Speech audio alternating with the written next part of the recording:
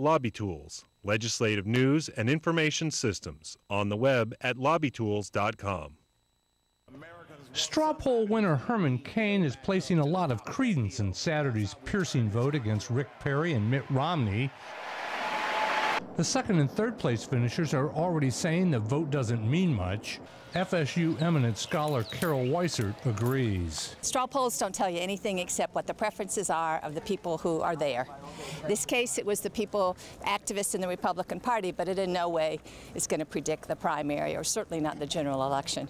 Saturday's vote clearly threw a likely curve in the prediction that the winner would be the party's eventual nominee.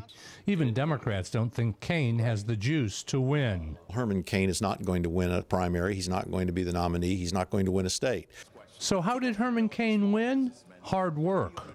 A number of Republican insiders believe it came down to retail politics. Herman Cain gave a great speech, then stayed and worked the room while all the other big players left. The messages sent by the GOP party faithful were many. Sally Bradshaw was a delegate but didn't vote. They're uncertain about Governor Romney because of his uh, perceived uh, issues, uh, his perceived position on some issues as a flip flopper, and they weren't ready to embrace Governor Perry given his debate performance. It really opened things up. Prior to Saturday, the last three Florida straw poll winners did go on to win the party's nomination. And if that happens this time, it would be the biggest political surprise of the decade. In Tallahassee, I'm Mike Vasilinda reporting.